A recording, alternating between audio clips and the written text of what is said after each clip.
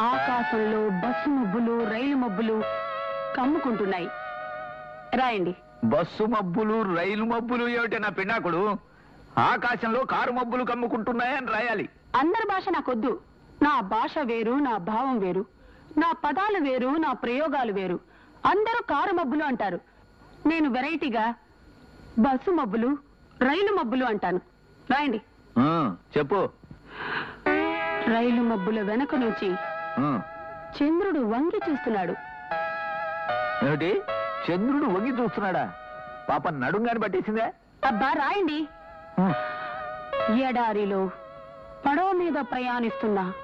ఎడారిలో పడవలు ఎక్కడ ఉంటాయా? అన్ని ఇసుక దిబ్బలేగా? అబ్బా చోలు మూసుకుని రాయండి. అంటే నోరు మూసుకోమనే? అవును రాయండి. పడవ మీద ప్రయాణిస్తున్న కుమార్ రాజాకి ఆకలి వేసి.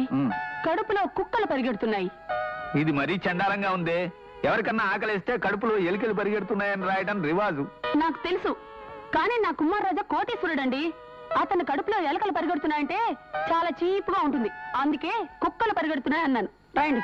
అమ్మా పెంట చేయడం పూర్తయింది. మీకు సున్నం వడ్డించమంటారా గంట చేయటం పూర్తవటం ఎట్రా పింజారి కదవా నన్ను ఏం చేయమంటారండి?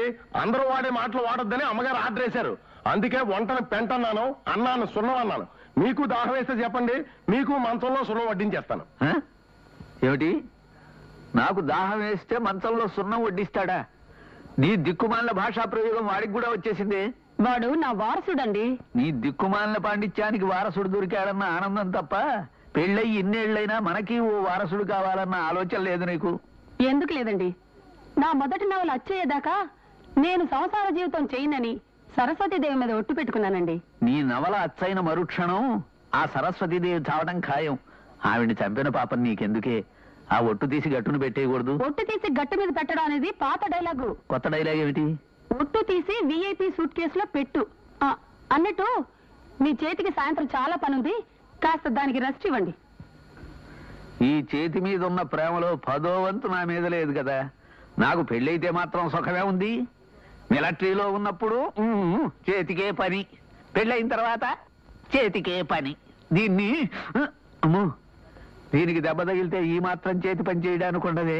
ఏమండి? ఆ, మంచంలో సున్నం కరిగిపోతుంది తొందరగా రండి. వస్తున్నా.